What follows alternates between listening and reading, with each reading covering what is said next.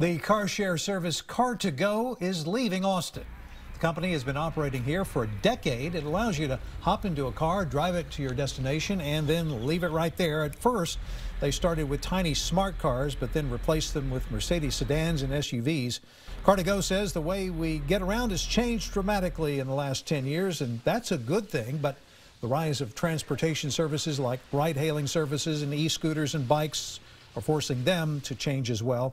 They will now be moving to cities where they think that car sharing will have the most success, those being New York City, Washington, D.C., Montreal, Vancouver, and Seattle.